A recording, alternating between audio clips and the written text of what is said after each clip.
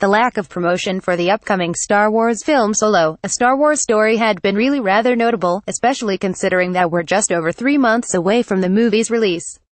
As we've discussed before on the site, it was odd that not a frame of footage from the movie had been seen even appreciating the behind-the-scenes turmoil the project has endured. Now though, the wraps are coming off. Here, at last, is the full trailer for the film. And here's the Super Bowl trailer, from earlier today. Here's the official story synopsis for the film. Board the Millennium Falcon and journey to a galaxy far, far away in Solo, a Star Wars story, an all-new adventure with the most beloved scoundrel in the galaxy. Through a series of daring escapades deep within a dark and dangerous criminal underworld, Han Solo meets his mighty future co-pilot Chewbacca and encounters the notorious gambler Lando Calrissian, in a journey that will set the course of one of the Star Wars saga's most unlikely heroes. The movie is in cinemas on May 25th. We'll keep you posted as we hear more.